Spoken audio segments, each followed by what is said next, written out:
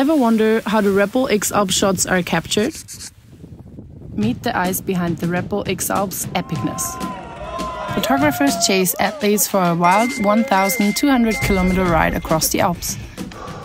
They hike up to 4,000 meters for those live action shots. In the air hanging from a helicopter or driving over mountains in a car, whatever they need to do, they do it. Very cool shot. Climbing steep cliffs, crossing rock terrains to bring the adventure to your feet.